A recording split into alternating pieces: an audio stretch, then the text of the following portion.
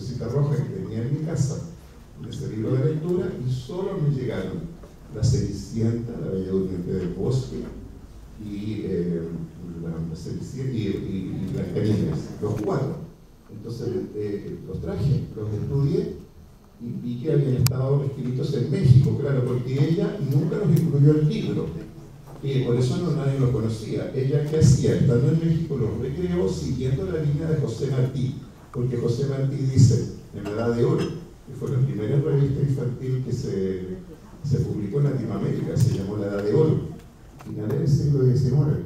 Entonces dice, el abono puede traerse de fuera, pero el cultivo ha de hacerse de acuerdo a nuestro propio suelo. ¿Qué quiere decir? Las ideas pueden venir de Europa, pero acá son de otra manera. Tenemos nuestra propia manera de ser, nuestro propio idioma, nuestro propio lenguaje. El abono puede traerse de fuera, pero el cultivo ha de hacerse de acuerdo a nuestro propio suelo. Entonces estos cuentos que eran europeos, de Jasper Rock y de los hermanos Grimm, ella los, los recrea a la manera latinoamericana. Y aquí aparecen las vicuñas, las alpacas, los lagartos, las iguanas, los metales latinoamericanos, el salitre, aparece el, el cobre, aparecen eh, los instrumentos musicales, los timbales de las eh, músicas andinas, o sea, los pasa por la vertiente latinoamericana, aparecen mitos aztecas, mitos mayas, entregados en estos cuentos, o sea, le da un fondo latinoamericano.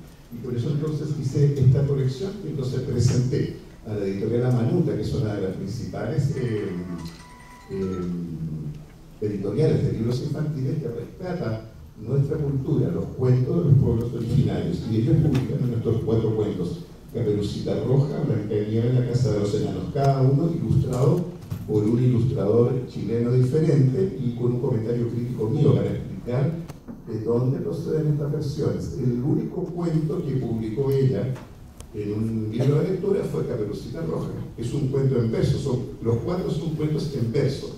O sea, los puso ella en forma de poesía. Y lo publicó en ese libro de lectura. Pero el libro no los incluyó.